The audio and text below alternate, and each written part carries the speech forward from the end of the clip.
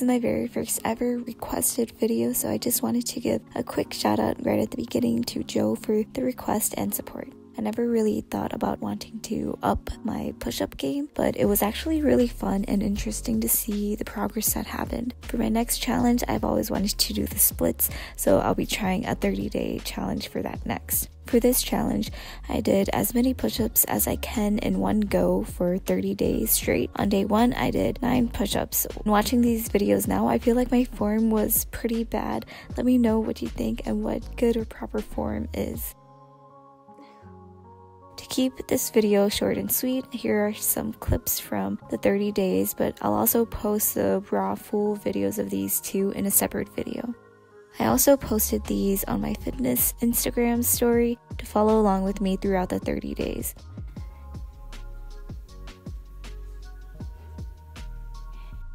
There seemed to be a trend of increasing by one every day or two, I was stuck at 12 for a while and even dropped to only 6 push ups, but the next day I went right back on track. On days when I did it after my workout, it was definitely more of a struggle since my muscles were already fatigued. Some days I just felt stronger than others.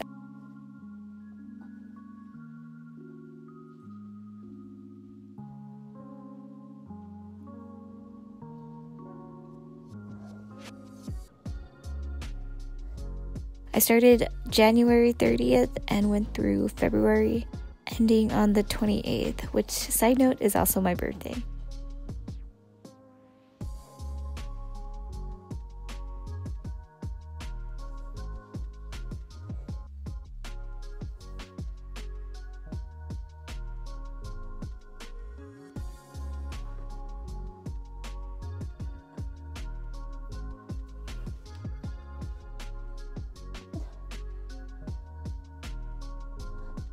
On day 24 or 25, I started getting a tingling feeling in my arm after I would do a few push ups. I'm thinking this was an indicator that my arms were getting too fatigued, but honestly, I'm not quite sure and just kept going.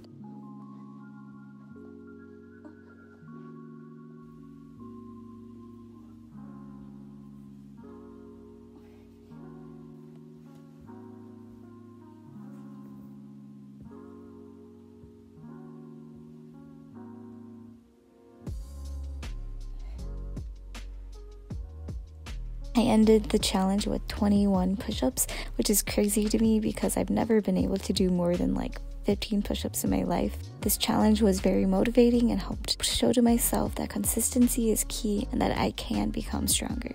I think I'm going to try to continue doing push ups to my max three times a week, and we'll see where that gets me in a year. I hope you all enjoyed this video. Thank you so much for watching, and I'll talk to you in the next one.